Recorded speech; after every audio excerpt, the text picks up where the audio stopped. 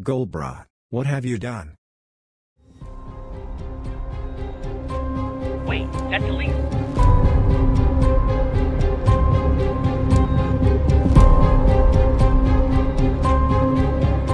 Gabi, please tell me this is not true.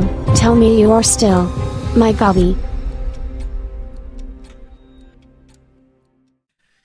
Hey, what is going on, guys? This is Golbrot once more, and well, here we are with another episode. This is not from any kind of series I'm making, or well, perhaps it could be for a new series in which I'm gonna be showing you guys how I actually make kamas, how I level up my professions and get kamas out of it because that's something I'm really good at. So, that's basically what I'm gonna show you today. I'm sorry about that intro. I know it's a little bit dramatic, but that's the way I am. Guys, um, I would also like to let you know that most of you are not subscribed to the channel, but you're watching the videos. So please, if you really wanna support me and help me out, you just need to go and subscribe. As you can see, only 33% of the people watching my content is actually subscribed. So please help me change this one. So first off, I just crafted a couple of potions because I saw that I could have a little bit of profit. These are the teleporting potions for Coliseum and for this treasure hunting. This is um, the price I actually sold them, but I needed to change it over the time because it was not selling. But anyways, I just wanted to show you that I started with this one and then I move on to a profit of 55,000 kamas.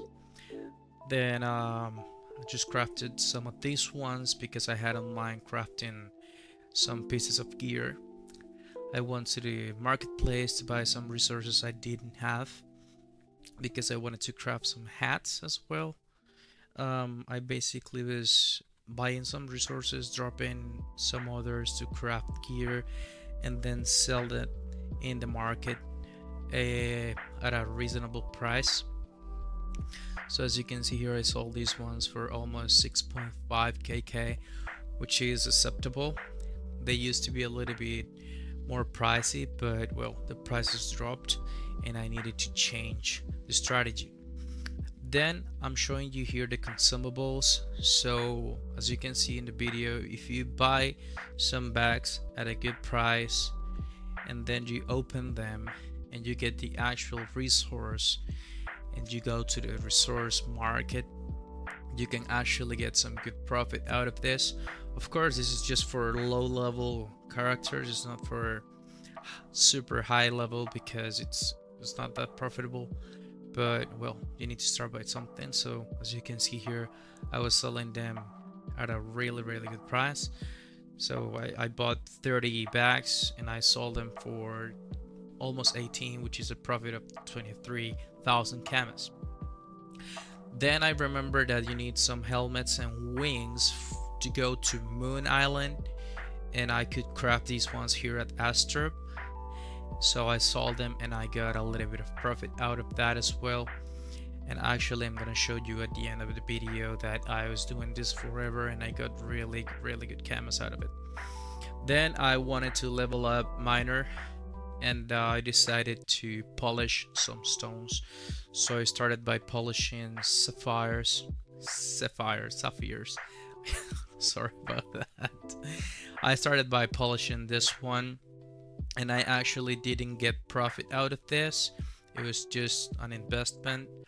I got some levels out of it and that's enough for me. Sometimes you win sometimes you lose. In this case I didn't lose because I got some experience out of that one.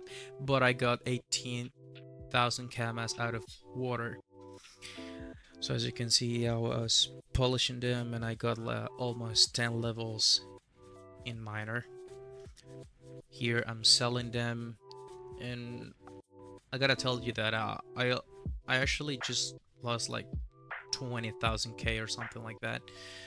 It was not that much. Well, that's it. Then I realized that I could actually polish other kind of stones to get some profit out of it, like um, diamonds, rubies, and stuff like that. So that's exactly what I'm gonna show you right now.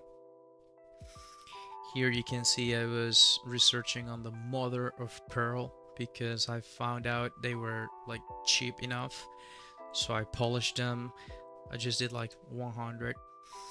And well, let me tell you that I got profit out of this one. So the stones in the water was like 108,000 kk and the profit's gonna be 71,000 which is really good and I also got some experience out of that one too. Then the next one to polish were the rubies. They were not so expensive, so I could manage to polish a lot of them, as well as the diamonds. These ones were actually expensive, so I didn't polish more than 40. It was just 40 by that time. And well, the most expensive was the water, I think. As you can see here, I just polished them and look at this one. Miner level 60 now. Oh yes, sir. Yes, sir. Woo! Now, for the rubies, I spent like uh 100 and something and I doubled the price so the profit was on the screen. And for the diamonds, it was actually a little bit better. I just spent like 130,000 and I sold them for 180 so it was like uh, 15,000 these are just some screenshots of the selling resources as you can see you can find that selling a lot of things is really profitable because you get like it's not really passive income but you get some really good money out of it. And as you can see here I I now have more than 2 million kamas. And let me tell you that this was with no subscription at all. You can see it in the video that on the upper right corner there's the star that tells you that I'm not subscribed and also you can see here that I leveled up Carver to level 60 in the process of crafting Rikiki ones to sell them as well as I showed you in the previous video. Then I leveled up Jeweler to level 60 again crafting some uh, rings and amulets to sell as well as um, shoemaker same deal crafting crafting stuff to sell. And tailor which was leveled up by crafting helmets and wooden wings so as I resume you can see here all the professions I've leveled up all the way to level 60 including um, carver, shoemaker, jeweler, miner, tailor. Um, I recently leveled up Fisher as well. So yeah, it was a little bit difficult, but I could do it with sorry with no subscription at all. Um, I would really like to encourage you to do the same, to just give it a try because it might be sometimes a little bit difficult because of the bots and the competition but it's very rewarding when you see that you're actually not spending money on the game before actually paying the subscription and you can actually get the subscription out of the game because with 2 million kamas I'm now able to buy two weeks of, subscription so it's like you could easily do this before actually spending real money. But to be honest it's like 40 bucks a month which is not a lot. So that was it for the video guys. Uh, i hope you liked it.